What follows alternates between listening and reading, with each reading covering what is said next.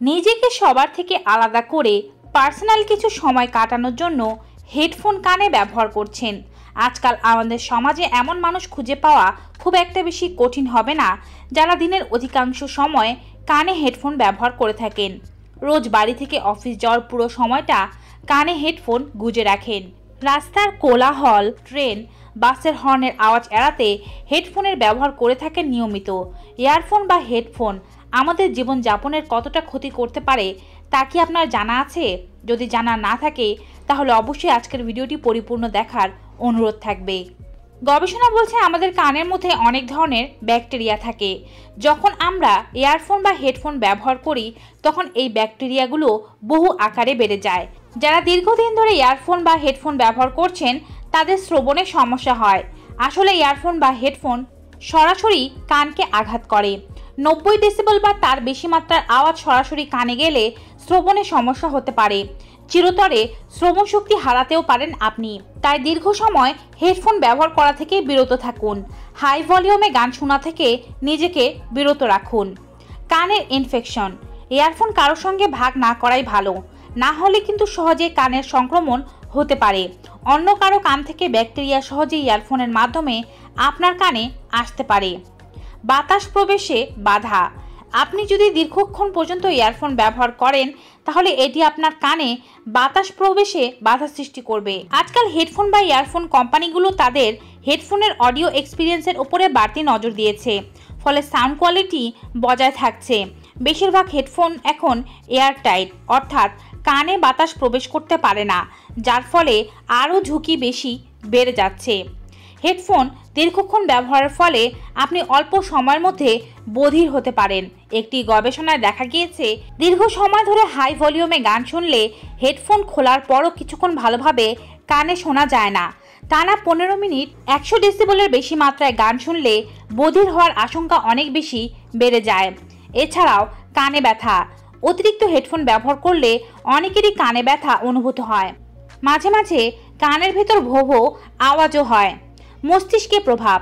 Headphone থেকে সৃষ্ট electromagnetic তরঙ্গ মস্তিষ্কের জন্য গুরুতর বিপদ ডেকে আনতে পারে। ব্লুটুথ হেডফোন ব্যবহারকারীদের ক্ষেত্রে ঝুঁকি আরও বেশি। মনে রাখবেন, কানের সঙ্গে মস্তিষ্কের সরাসরি যোগ রয়েছে। কখনো ভাগাভাগি করে যদি আপনি ইয়ারফোন ব্যবহার করেন, তাহলে কানের ইনফেকশন ছড়াবে, তাতে কোনো সন্দেহ নেই।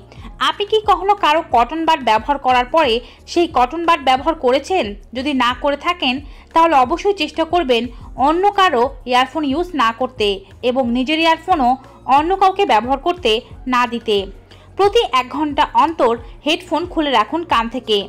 কাজ বা বিনোদন যে কোনো কারণেই হোক না কেন, সারাদিন হেডফোন পরে থাকবেন না। এক ঘণ্টা অন্তর খুলে খুলে আপনি কানকে বিশ্রাম দিন, পাশাপাশি আপনার ইয়ারফোন পরিষ্কার করে নিন।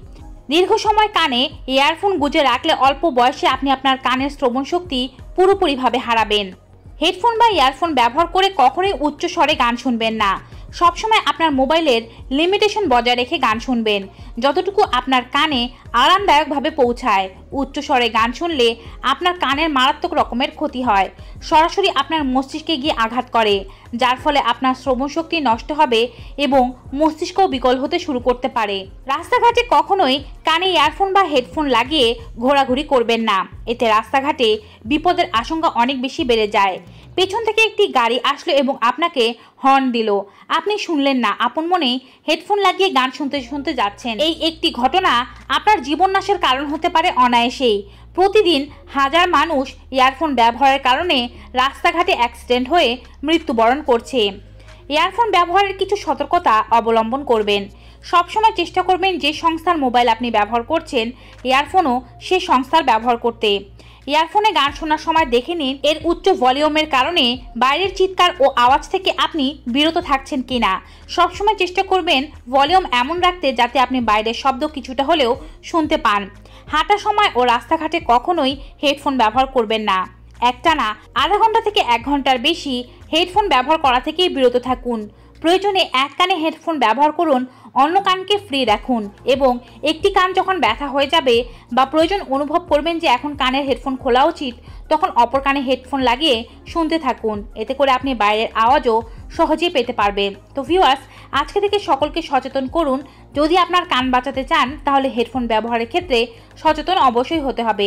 ভিডিওটি ভালো লেগে থাকলে অবশ্যই বেশি মাত্রায় like comment share and subscribe দেখা হবে নতুন একটি ভিডিওতে নতুন কিছু উপকারী তথ্য নিয়ে। Till then good bye and take care